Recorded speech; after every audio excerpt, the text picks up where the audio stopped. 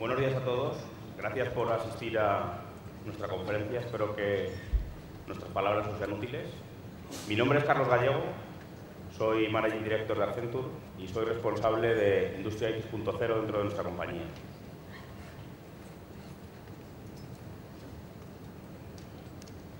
Los cambios tecnológicos pueden desencadenar una revolución industrial, pero la tecnología por sí sola no es suficiente.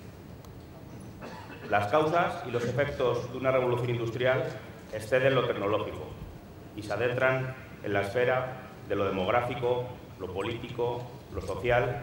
En definitiva, cambian las reglas del juego, cambian las reglas por las cuales las personas interactúan entre sí.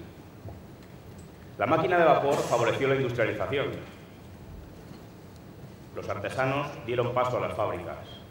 Las máquinas sustituyeron las tareas animales y la fuerza animal. Pero eso no fue lo más importante. Lo más importante es que se transformó la sociedad. Apareció una nueva clase social, la clase trabajadora. La población emigró del campo, llegó a la ciudad, aparecieron nuevos movimientos políticos, se estableció un nuevo orden. Seguro que coincidís conmigo que hoy en día está ocurriendo algo parecido. La digitalización está produciendo grandes avances. Muchas de las tareas que hoy en día realizamos serán realizadas por robots. Pero, de nuevo, eso no es lo más importante. Lo más importante es que esas tareas serán sustituidas por otras basadas en el conocimiento. Y eso hará que cambien las relaciones entre los individuos y sus empresas, entre las empresas y sus clientes. Estamos ante un nuevo orden. Estamos en los albores de una revolución. No estamos seguros si, como muchos dicen, esta es la cuarta, porque si atendemos a que la primera pudo ser la revolución neolítica, realmente estaríamos en la quinta. Nosotros en Accenture hemos preferido llamarla industria X.0 y así seguro que aceptamos. En la primera de las revoluciones, España jugó un papel importante, en la neolítica. O por lo menos eso es lo que atestiguan los expertos antropólogos de Atapuerca. Pero a partir de entonces, nuestro papel pasó a ser secundario. Fuimos lo que hoy se denomina unos followers, y eso no puede volver a ocurrir. Tenemos que ser relevantes, tenemos que tener un rol principal. Nosotros desde Accenture asumimos este rol con responsabilidad porque queremos ayudaros a transformar vuestras industrias. Queremos ser los líderes de la digitalización de la industria en España. Ese liderazgo pasa por generar confianza en el tejido industrial. Esto es muy importante. Lo hemos visto en las conversaciones que hemos tenido con vosotros, con muchos ejecutivos de compañías industriales. Y también lo atestigua el informe que hoy presentamos. Me gustaría desgranar algunas de las conclusiones fundamentales. Sin ánimo de aburriros con datos, en este momento quería destacar dos cosas que son absolutamente relevantes y son las dos prioridades que los ejecutivos marcan como estratégicas y que son desarrollar nuevos productos innovadores y diseñar unas operaciones más flexibles. ya veréis cómo estos dos mensajes se repiten sistemáticamente a lo largo de la presentación porque coinciden plenamente con lo que entendemos nosotros que es el objetivo de la industria X.0. También hemos hablado con ellos de tecnología y hemos tratado de averiguar cuáles creían que eran aquellas que les ayudaban a evolucionar, tanto en el plano operativo como en el plano de la personalización. Y en ambos casos, la inteligencia artificial y sus variantes de Machine Learning y Deep Learning aparecen como destacadas. Todos estos datos ellos en el estudio, que había vuestros asientos. En cualquier caso, tenemos algún ejemplar más por si lo necesitáis.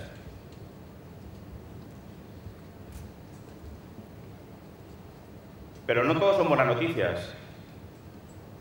Si bien los encuestados, tres cuartas partes de ellos, entienden que la digitalización les ayudará como motor de la innovación, solo el 45% creen que las inversiones en lo digital producirán un ahorro de costes.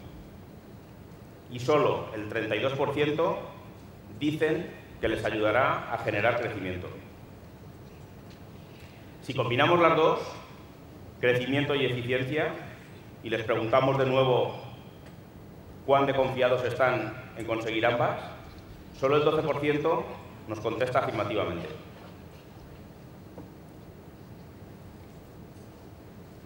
Ahondando en el estudio y queriendo saber las causas de esta falta de optimismo, identificamos como principales estas dos. Prácticamente la mitad creen que la naturaleza cambiante de la tecnología les dificulta esa credibilidad en el retorno de la inversión. Nos dicen, entre otras palabras, cuando he empezado a implantar una tecnología, ya sale otra que la sustituye. Y un tercio lo atribuyen a la falta de capacitación, a las dificultades que tienen las compañías para instaurar una cultura de innovación digital entre sus empleados. ¿Cuáles van a ser las causas o los efectos de esta falta de confianza? Son claros. Una ralentización de la inversión. Si veis en este gráfico y comparamos una magnitud fácilmente medible como es el gasto en IoT en el sector industrial con el gasto de los países en I+.D., veis que hay una cierta correlación y que España, comparado con Francia, Italia, Reino Unido y Alemania, queda en una posición no demasiado favorable. Prácticamente en Alemania se invierten tres veces y media más en Internet de las Cosas que en España, según datos de 2016. Esperemos que esta tendencia cambie, porque de lo contrario no vamos a ser capaces de remontar estas tasas de crecimiento y de, mejora de la productividad que tenemos, que son realmente bajas. Y que finalmente, si hacemos un ranking acerca de la innovación, tampoco aparecemos en los primeros puestos.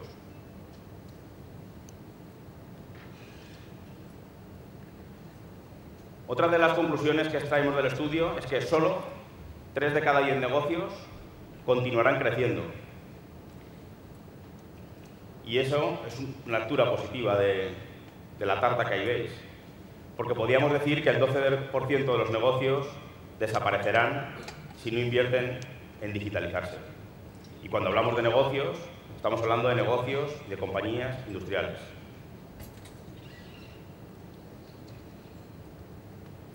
La fuerza de trabajo también se transforma. Se crean nuevos puestos, y las empresas se focalizan en crear una fuerza de trabajo más diversa. Lo han comentado los ponentes anteriores, la cantidad de nuevos roles y nuevos puestos que aparecen en las compañías asociados a la explotación y a la gestión del dato.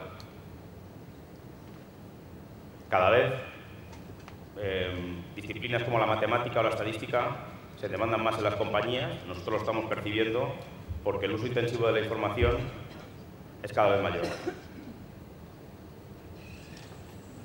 ¿Y cuál es la solución? La solución entendemos que no pasa por recolocar todas estas tecnologías y tratar de gestionarlas de forma individualizada, sino que pasa por combinarlas. Pasa por combinarlas bajo la necesidad de reinventar los modelos operativos, de reinventar los modelos de negocio, de reajustar las cadenas de valor de las compañías, para finalmente convertirlas en compañías X.0. Porque para nosotros la industria X.0 es precisamente eso, es reinventar la industria.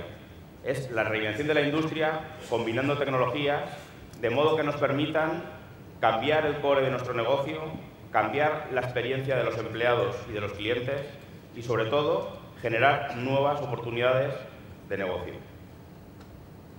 Casi nada. Las compañías que quieran digitalizarse y quieran entrar en la revolución digital, deben de abordar estos seis imperativos de negocio. Primero que os comentaba es transformar su núcleo, el núcleo de las operaciones industriales. Aquí, dos mensajes. Uno, la convergencia entre la tecnología de planta y la tecnología corporativa. Cada vez estos mundos se unen más y somos capaces de explotar datos que generamos en las fábricas desde una perspectiva diferente, porque los correlacionamos con los datos de gestión y de performance de las compañías. Y esto es algo que antes no se podía hacer porque la tecnología no lo permitía. La innovación en nuevos modelos de negocio, y aquí el concepto es la servitificación. Cada vez más compañías industriales están tratando de identificar la experiencia que tiene el cliente o el cliente de su cliente acerca del producto que fabrica, porque cada vez quiere orientar esa relación hacia una relación basada en el servicio, basada en una relación a largo plazo con los clientes que se monetice de una manera diferente. Las compañías industriales están muy acostumbradas a fabricar bajo una especificación, pero tradicionalmente no han tenido en cuenta la experiencia del usuario. Cada vez más están rotando a eso, porque están buscando relaciones mucho más a largo plazo. Enfoque en experiencias y resultados. Es lo que os comentaba. Cada vez es más importante no solo la experiencia del cliente, sino la experiencia del propio empleado. Cómo el empleado puede realizar tareas con una mayor economía. Hablábamos de los robots, de la colaboración con los robots, de cómo los empleados utilizan la tecnología digital para desempeñar su trabajo de una manera mucho más fácil y eficiente. Esto nos lleva al cuarto de los puntos, la necesidad de adaptar las plantillas a una nueva forma de trabajar. No solo porque tengan que utilizar unas tecnologías que son nuevas, sino porque tienen que ser capaces de tomar decisiones basadas en la información que esa tecnología les proporciona. Y eso es lo realmente difícil. El quinto de los puntos hace referencia al ecosistema. Y esto es un aspecto muy importante. Las empresas no pueden avanzar solas en sus retos de digitalización. Cada vez más se ven interrelacionadas en un ecosistema en el que cada uno aporta un ingrediente diferente. Tienen que trabajar de manera conjunta las administraciones, las compañías, las pequeñas compañías que innovan en torno a tecnologías disruptivas, como son las startups, las grandes compañías, que tenemos músculo para accionar de estos procesos de transformación, las universidades, los centros tecnológicos, los centros de formación profesional. Y el último de los puntos es gestionar de una manera inteligente todo esto. Es decir, balancear sabiamente entre las necesidades de financiación que exige cambiar el core de nuestro negocio versus la necesidad que exige desarrollar nuevas fuentes de ingresos. Tenemos que ser capaces de levantar eficiencias que nos generen ahorros que financien la transformación. Y esa tarea no es fácil. Dejadme que os cuente experiencias de algunas compañías que ya están avanzando en esto y que nos tienen que servir como modelo a seguir.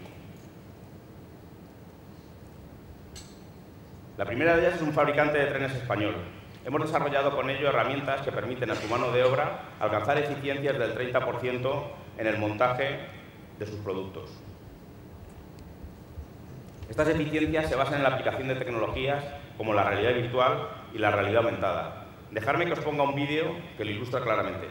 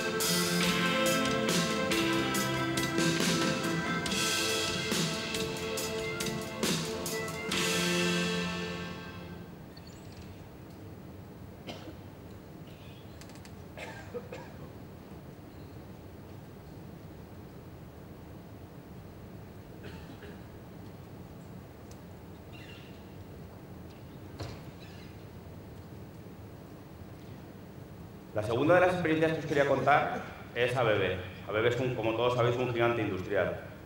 Estamos empezando a trabajar con ellos para buscar modelos de servitización que permitan crear nuevas líneas de negocio, crear servicios sobre la base de su catálogo actual de productos. Ellos pretenden que esta línea de producto y de servicios sean relevantes, sean relevantes en la cuenta de resultados. Aquí os puedo ilustrar con este ejemplo. Lo que veis justo al lado de los motores es un Smart Sensor, un sensor inteligente. El sensor es capaz de recoger información de funcionamiento del motor en tiempo real y transmitirla. Analizando esa información, somos capaces de entregar a Bebé una información relevante que pueda, a su vez, proporcionar a sus clientes para optimizar el uso que está haciendo de sus equipos. Cuando hablamos de optimizar el uso, podemos aplicarlo a ejemplos tan claros como es la reducción de costes de consumo eléctrico. Y ahí la propuesta de valor del fabricante puede ser llegar a compartir los ahorros que su cliente genera gracias a las recomendaciones que les hacemos basadas en la explotación del dato. Otro de los ejemplos que os quería contar es el de Siemens. Como sabéis, Siemens abandera la industria 4.0. Está inmerso en un proceso de cambio a lo digital brutal. Han creado una plataforma, lo comentaba antes Rosa García, la plataforma Mindsphere. Sobre esta plataforma se permite crear aplicaciones y servicios basados en la explotación del dato. Datos que son recogidos de equipamiento industrial conectado a dicha plataforma. Pues bien, en esa plataforma nosotros hemos desarrollado una aplicación basada en un algoritmo que nos permite anticipar la causa de fallo de una serie de dispositivos que se denominan circuitos de vía y que se disponen a lo largo de las vías de alta velocidad, en concreto en el área de Barcelona. Con estas técnicas predictivas somos capaces de proporcionar a Siemens ahorros considerables en el mantenimiento de la infraestructura. Pero no solo a Siemens, también Renfe, que es el operador, se beneficia de ello, dando a sus clientes una calidad de servicio mejor. Porque si nos anticipamos al fallo, somos capaces de evitar paros en las circulaciones y, por tanto, reclamaciones de los viajeros. Son ejemplos que os quería mostrar para que veáis cómo compañías van a la cabeza en estos, caminos de transformación y con experiencias reales les estamos ayudando. Porque retomando lo que os decía al principio, nuestro objetivo es ser líderes en la digitalización industrial de nuestro país. Y para ello, para extender innovaciones como estas y otras muchas, vamos a crear un centro de Industria X.0 en Zamudio, Vizcaya, Pretendemos que sea un espacio de innovación, un espacio donde seamos capaces de crear con el ecosistema nuevas innovaciones, escalarlas, industrializarlas y llevarlas a las plantas. Dejadme que os enseñe el centro desde una perspectiva virtual.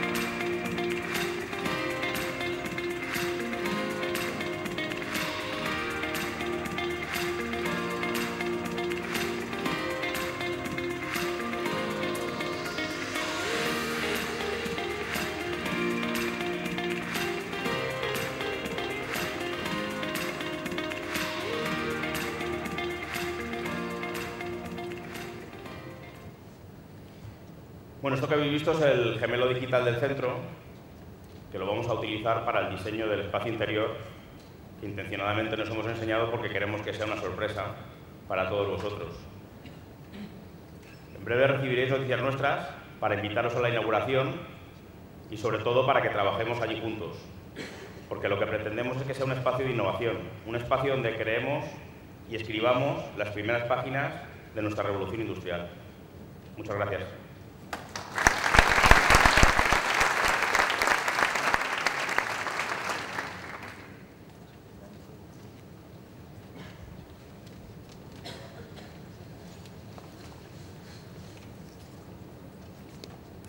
Si alguien tiene alguna cuestión, estoy encantado de, de atenderla.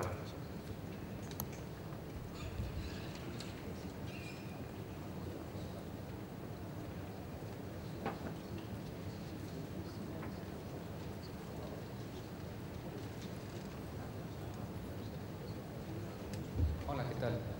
Sí, se escucha. Hola, ¿qué tal? Mi nombre es Rodolfo. Eh, bueno, yo soy auditor de sistemas de gestión y de seguridad de información. Y una, una pregunta que, hoy últimamente me hacen mucho es eh, qué tanto, en el caso ya del, de la industria 4.0, cuando, una empresa eh, va a evolucionar a industria 4.0, qué tan relevante es que tengas tus sistemas de calidad o de seguridad de información certificados o estructurados? ¿Qué, qué, tan, ¿Qué tan importante es que tengas procesos estructurados? Documentación y registros. Bueno, se ha apuntado a dos cosas. Por una parte, la estructuración de los procesos, por otra parte, la seguridad, ¿no? que esos procesos confieren a la compañía y ambas cuestiones son absolutamente relevantes. No somos capaces de transformar el core si no conocemos perfectamente nuestros procesos y para eso tenemos que tener documentados, auditados, analizados y perfectamente conocidos, por una parte. En cuanto a la seguridad, es absolutamente clave. No se puede plantear ninguna estructura de gestión de datos en empresas industriales si no va sobre la base de una capa de ciberseguridad o de seguridad industrial. De hecho, uno de los activos que queremos crear en nuestro centro de, de Zamudio es precisamente ese, el de la seguridad industrial eh, las conversaciones que tenemos con los fabricantes y con las empresas manufactureras, este aspecto es crucial y siempre sale en las conversaciones. Eh, las compañías son muy celosas de su propiedad intelectual y porque en, ello está su ventaja competitiva. ¿no? Sus diseños son los que les hacen competitivos y los que les mantienen en el mercado y los protegen. Eh, uno de los miedos que ellos tienen es, cuando estamos hablando de plataformas en la nube, como las que os he contado, qué puede ocurrir con esos datos cuando los transfiero a unas infraestructuras que no administro yo. Lo que tenemos que hacer es garantizar a los clientes que esa información viaja y se trata de manera segura. Para eso la capa de ciberseguridad es absolutamente determinante. De nada.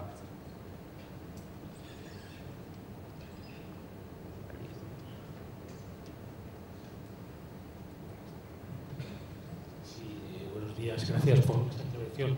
En este centro Zamudio, conoces, me parece, no sé si tienen la idea, un poco la idea de Peugeot, ¿no? de, generar, eliminar todas, todos los posibles despachos y dejar áreas abiertas para que incluso gerencia y trabajadores se, comuniquen, estén trabajando más cercanamente. No sé si cuál es esa idea que tenéis. Sí. Eh, es cierto lo que comentas. Eh, nosotros ese tipo de técnicas ya las empleamos desde hace muchísimo tiempo. Eh, yo llevo trabajando en Accenture desde el año 96. El año que viene cumplo 23 años y desde que entré en la compañía siempre ha existido esta cultura de trabajo en espacios abiertos. Hace 23 años ya trabajamos así.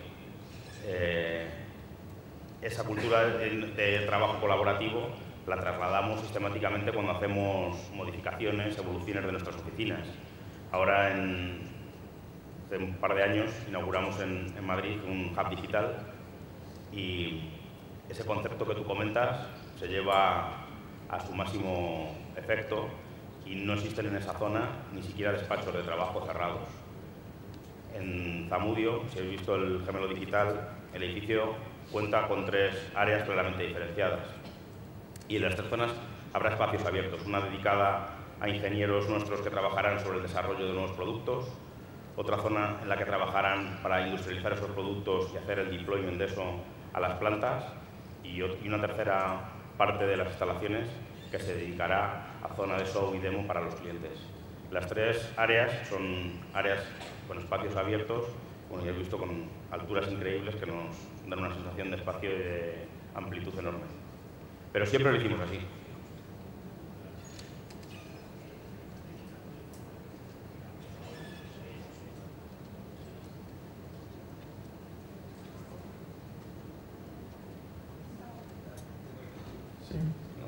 Sí.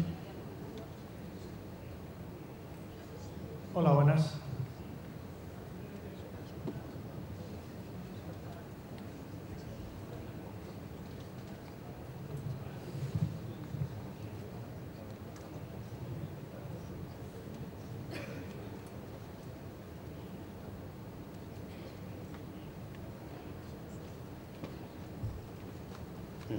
Entiendo que te refieres a las metodologías de trabajo Agile, que sustituyen a las metodologías Waterfall en las que se partía de un diseño muy detallado para empezar el desarrollo de los productos y servicios.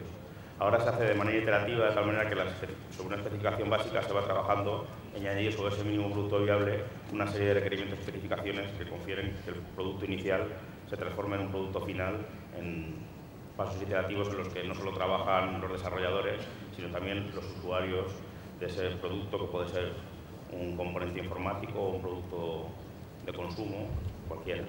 Sí. Se llaman Agile, técnicas Agile, de desarrollo de producto. Mm. Mm, sí, correcto. Mm. Gracias.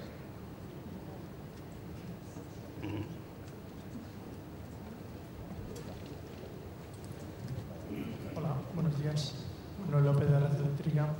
Me gustaría... No te veo porque los focos me deslumbran, pero te oigo. Si hablas alto, te oigo. Sí, eh, me gustaría si podrías ampliar información sobre la experiencia y cómo habéis diseñado eh, la información que, puedas ampliar sobre el algoritmo predictivo que, has comentado anteriormente. ¿Qué experiencia incluso de resultados o en, qué, en qué momento estáis?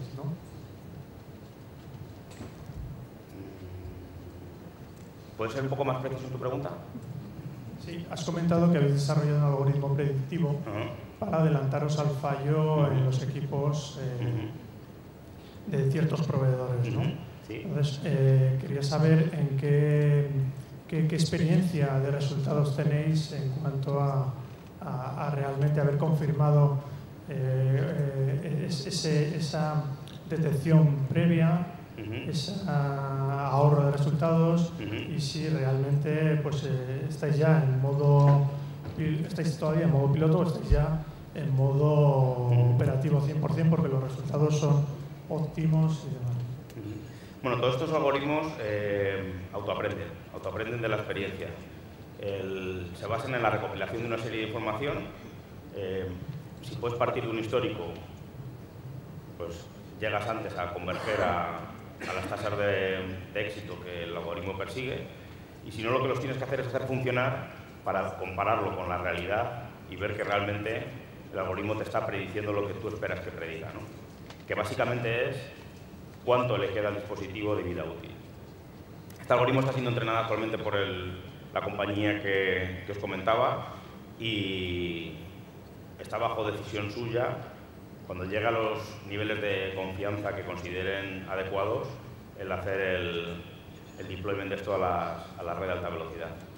Pero es indudable que estos algoritmos, cuando no se disponen de una base de datos histórica, necesitan un periodo de maduración para autoaprender y regularse y alcanzar el grado de confianza que se necesita para tomar decisiones en base a ellos.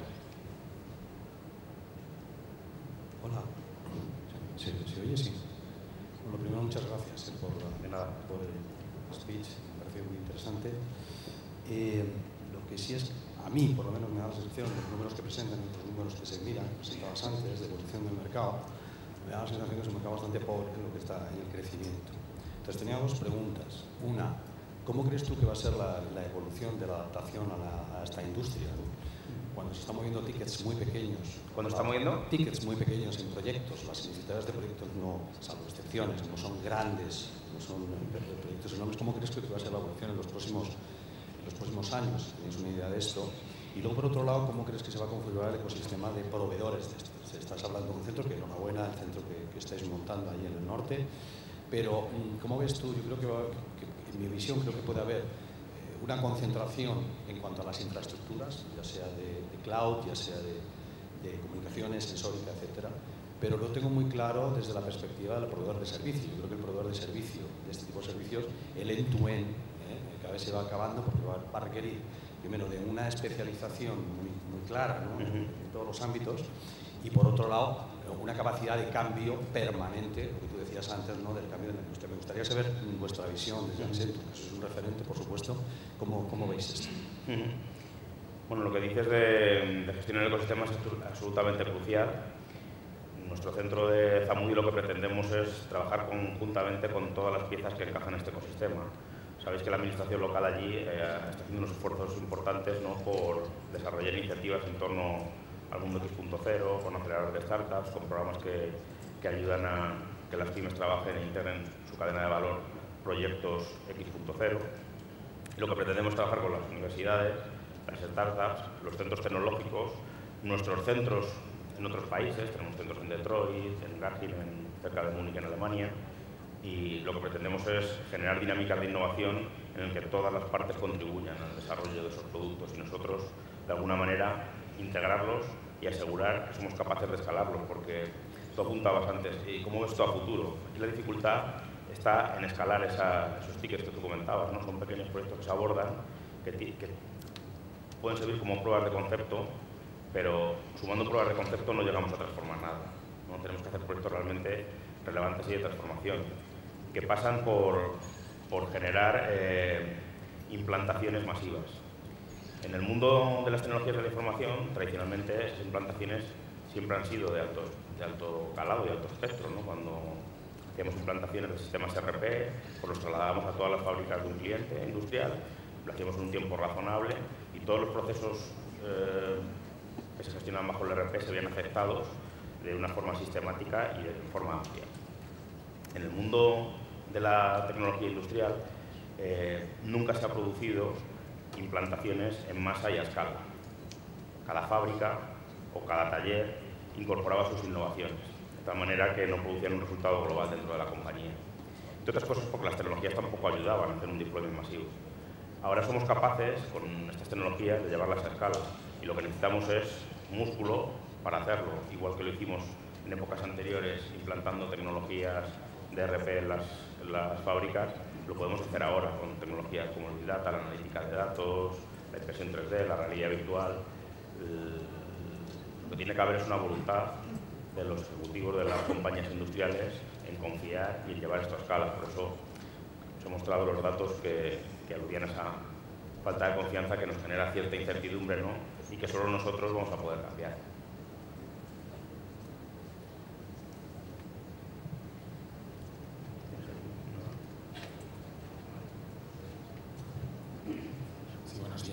José Ignacio Pradas, eh, eh, actualmente en el Ministerio para la Transición Ecológica, pero he estado con, con la Corporación Mondragón, fundadores de la Plataforma Tecnológica para la Fabricación Avanzada Manuque.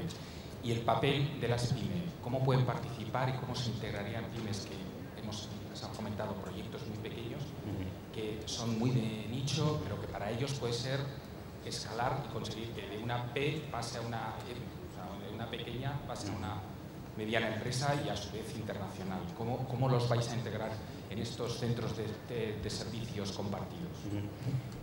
Pues mira, este, esta pregunta que me haces es un aspecto que siempre nos ha preocupado, ¿no? porque es cierto que hay una serie de compañías que son grandes, que se pueden considerar como compañías tractoras, pero la base del tejido empresarial, sobre todo en la zona que os comentaba, es una base de, tejido empresarial basado en la, no digamos pequeña, pero sí mediana empresa. ¿no?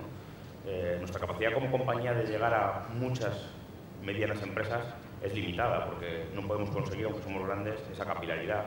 De hecho, el hecho de ser tan grandes a veces también nos dificulta esa capilaridad. Actualmente, ¿cómo se está consiguiendo esto? Los centros tecnológicos trabajan con, normalmente con empresas, pequeños integradores, que lo que hacen es hacer el deployment de esas soluciones en las plantas de, las, pymes. Lo que pretendemos es arbitrar una estructura en cadena en el que nosotros y las grandes compañías hagamos efecto de tracción y los pequeños integradores trabajen con las pequeñas y medianas empresas en la implantación de esas soluciones. Pero siempre bajo un objetivo de, negocio que suponga modificaciones en las grandes compañías que son las que tirarán del resto, ¿no? porque si la gran compañía no hace ningún proceso que suponga una transformación relevante, no va a ocurrir aguas abajo nunca. Entonces tenemos que ser capaces de generarlo arriba para que aguas abajo fluyan esas necesidades de cambio. Cuando una gran empresa exige o sugiere o mm, define una serie de especificaciones en sus productos, en sus procesos de fabricación, lo hace a sus proveedores y si realmente tracciona de ellos, los proveedores pues, terminan cambiando. Lo que necesitamos son pequeños integradores que tengan capacidad suficiente como para llegar a esas pequeñas y medianas empresas. Pero ahí está también la, apuesta del sector público que orienta mucho su acción y las ayudas precisamente a sus colectivos. Entiendo que empresas grandes y multinacionales no tienen que ser objeto de esas, ayudas o de ese empuje, como lo han de ser la pequeña y mediana empresa. ¿no? Por eso la acción política se centra fundamentalmente en ese estrato de empresarial.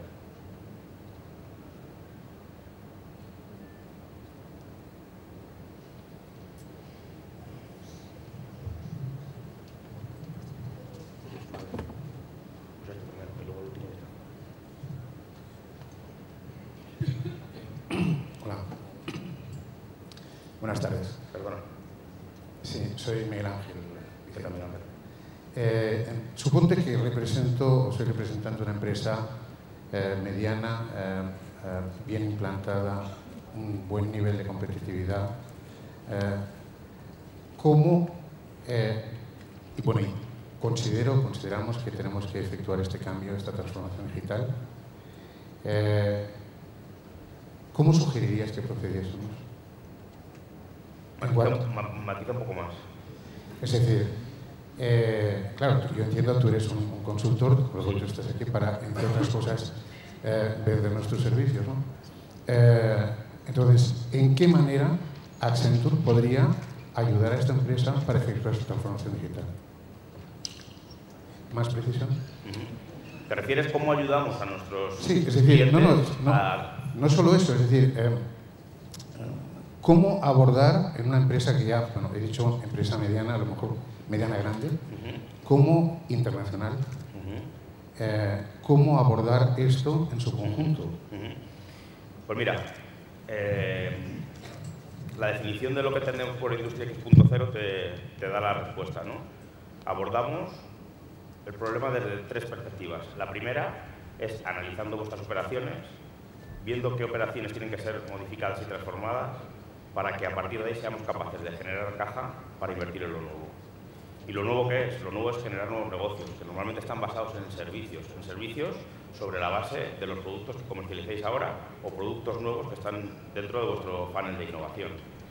Y todo eso redondeado con que vuestros trabajadores y vuestros clientes consigan tener una nueva experiencia con los productos que les vendéis.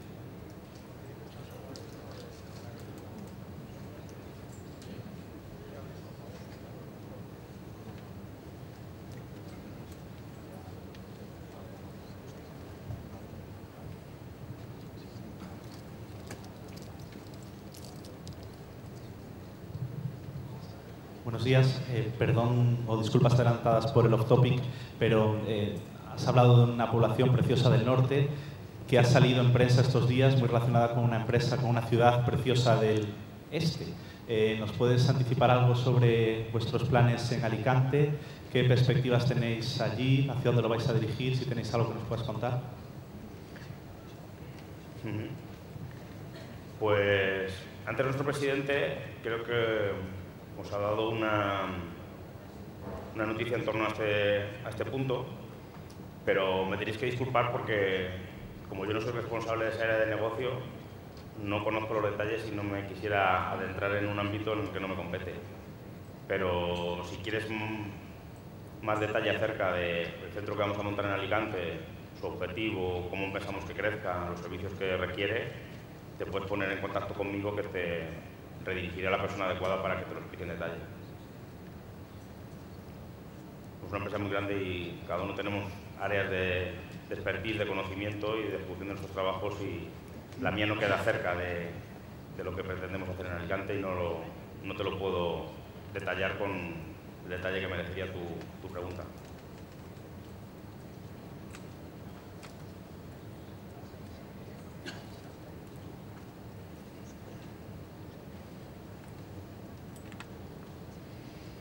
Si no hay ninguna pregunta adicional, agradeceros vuestra presencia y muchas gracias a todos.